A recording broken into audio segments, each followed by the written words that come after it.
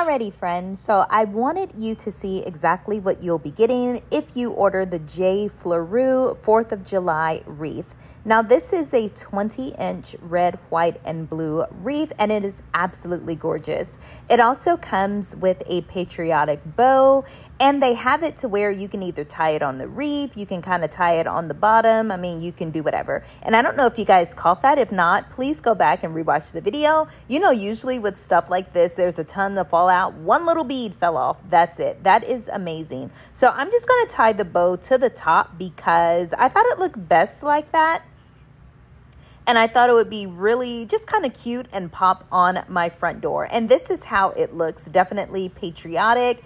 It stands out and it is very well made. I was super impressed with the quality of this.